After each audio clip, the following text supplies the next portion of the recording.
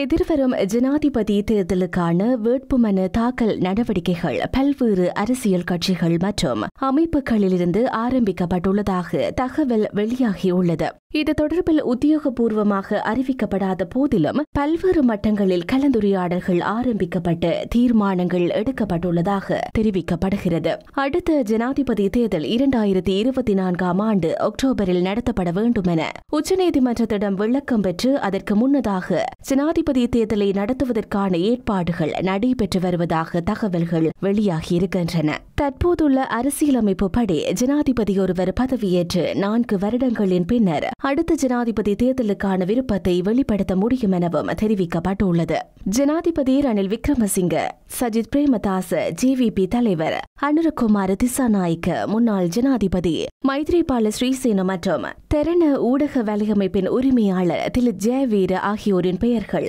ஜனாதிபதி தேர்தலுக்கான வேட்பாளர்களாக அறிவிக்கப்பட்டுள்ளதாக தகவல்கள் வெளியாகியிருக்கின்றன இதனைத் தொடர்ந்து எதிர்வரும் ஜனாதிபதி தேர்தலில் போட்டியிடும் வேட்பாளர் ஒருவரை பொதுஜன பெருமுன இதுவரை தீர்மானிக்கவில்லை எனவும் தெரிவிக்கப்பட்டுள்ளது இவ்வாறான நிலையில் பொது பயன்பாட்டு ஆணைக்குழுவின் தலைவர் ஜானக ரத்நாயக்கவை எதிர்வரும் ஜனாதிபதி தேர்தலில் வேட்பாளராக முன்னிறுத்தும் நடவடிக்கையை மத தலைவர்கள் குழு ஒன்று ஆரம்பித்துள்ளதாகவும் தெரிவிக்கப்படுகிறது மேலும் எதிர்காலத்தில் என்ன நடக்கும் என்பதை பொறுத்திருந்துதான் பார்க்க வேண்டும்